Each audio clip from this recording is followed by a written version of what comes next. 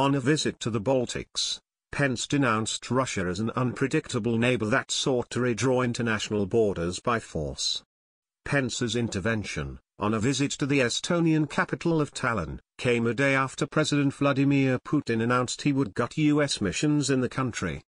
That decision came after US Congress passed a bill last week to slap fresh sanctions on Russia over its 2016 US election meddling. Any prospect of a reset of US-Russian relations, previously advocated by both Putin and US President Donald Trump, now appears slim. At this very moment, Russia continues to seek to redraw international borders by force, undermine democracy in sovereign nations, and divide the free nations of Europe, one against another, Pence said at a press conference, alluding to the Russian annexation of Crimea. Under President Donald Trump, the United States of America rejects any attempt to use force, threats, intimidation, or malign influence in the Baltic states or against any of our treaty allies. Speaking alongside presidents of Estonia, Lithuania, and Latvia, Pence sought to assure Baltic leaders that the U.S. would not be intimidated by Putin's announcement Sunday that U.S. missions would be stripped of 755 staff members and two properties. There are around 1,200 staff members working at these missions, though it is not clear how many are U.S. citizens.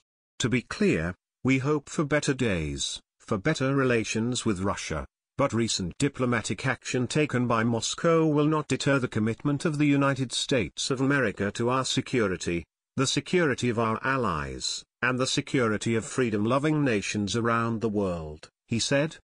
Putin is seeking to reduce the number of staff members at U.S. missions in Russia to 455, a figure equal to the number of Russian diplomats now in the United States, the Russian Foreign Ministry said earlier, giving a deadline of September 1 for the cuts.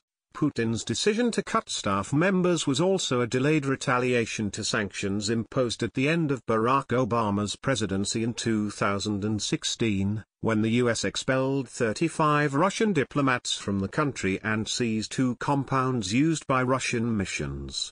Those actions were in response to Russia's election meddling, as well as its continued military aggression in Ukraine.